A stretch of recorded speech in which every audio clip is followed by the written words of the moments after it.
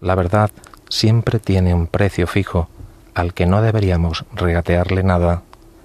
La verdad vive con una casa corriente en una ciudad o un pueblo corriente, con un trabajo de lo más corriente. A la verdad no le van los disfraces, no presenta complejos de Edipo, ni tampoco problemas de autoestima. Ella no sabe de traumas alimenticios, ni padece de insomnios permanentes. La verdad es un viento insobornable que tampoco soborna, ni miente, ni insulta.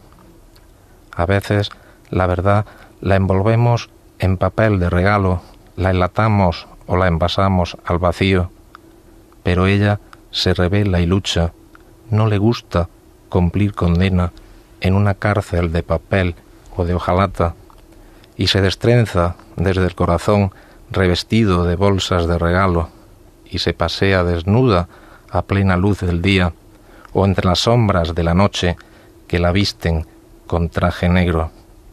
La verdad siempre acecha y prevalece, aunque tardemos en hallarla en medio de la calle o en la esquina de nuestros torpes y confusos pasos.